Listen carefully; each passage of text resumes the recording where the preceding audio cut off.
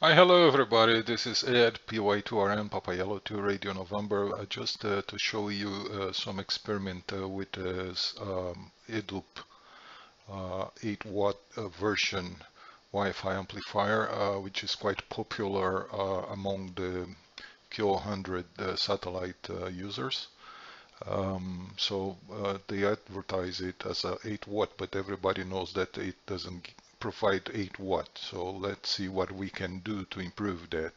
So I'm using SDR console um, software um, to control and uh, uh, and the Pluto, ADALM Pluto SDR. There is a preamp uh, uh, board which provides about 650 milliwatt, as you can see on the Immersion RC power meter. Um, so it provides around 600, 650 milliwatt. Um, so um, let's see um, what uh, we can do with this.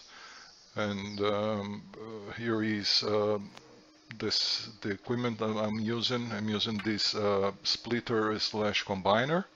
Uh, purchased it from eBay, very cheap. Uh, they are rated up to 20 watts. this is the first amplifier. Um, some specs on the back and um, a few uh, good quality um, jumpers cable, SMA cables. So let's test the first amplifier to see uh, how much it will provide. Yeah, it's about 36.5 uh, dBm as you can uh, see on the RF uh, power meter. 12 volts um, feeding with 12 uh, volts DC that's uh, the power the output power from the amplifier. That the second one amplifier B it it's giving a little bit more 36.9 dBm. Um, so about almost 5 watts using the same uh, cable, the same um, preamp and uh, so we notice this little difference. So here is the complete uh, setup uh, for the for the experiment.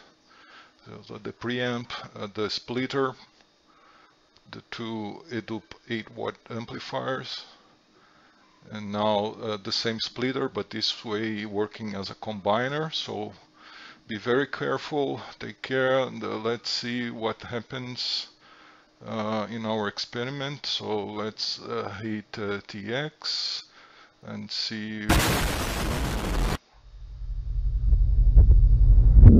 Holy cow. Yeah, I was not expecting that.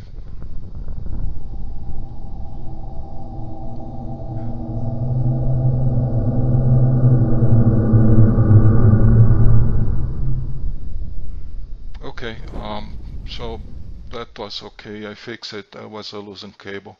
So here comes comes again um, and yep that's the result 39.2 dB uh, about 8.4 watts. So it's possible uh, to get 8 watts out of from those amplifiers but you have to use two of them. Yep that's that's the situation uh, there are also a few modifications listed on the internet for those amplifiers, like putting uh, it in constant TX mode, uh, short circuiting uh, those two pins from this IC. Um, also, uh, some um, bypassing the TR switch on the output. Um, they they claim it will improve the output power, but um, this is this is not worth I mean it, doesn't worth it a waste of time.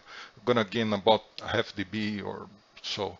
Um, those heat sinks I, I, I, they are quite useful mainly on the top of the uh, voltage regulator because it gets too hot and uh, it it will decrease the power uh, if it gets too hot. So the heat sink is very useful all right, uh, thank you very much. 73 to all from Ed, Papa Yankee 2 Radio November.